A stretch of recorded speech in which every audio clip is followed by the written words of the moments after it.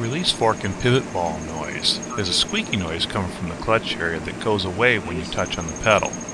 Slightly pushing down on the pedal and the squeaky noise goes away. Releasing the pedal and the noise comes back. Release. One more time. Once under the car, we can see the release fork rattling. Slightly touching the pedal puts a little pressure on the release fork and the squeaky noise goes away. Push on again. Release. If we look close at the pivot ball where it rides on the release fork, we can see that it looks dry, and that's where your squeaking noise is coming Again. from. Release. One more time. Push. Release. Okay.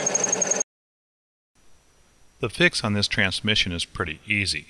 We can push back on the release fork against the slave cylinder and create enough of a gap to get a flux brush full of white grease up there between the pivot ball and the release fork.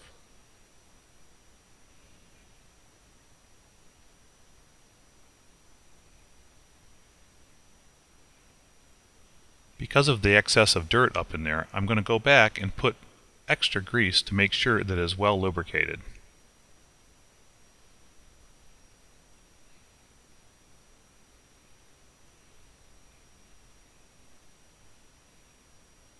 Now we will release the release fork, start the engine up.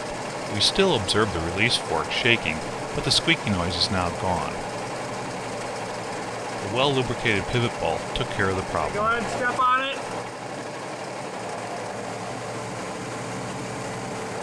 it. Release. One more time.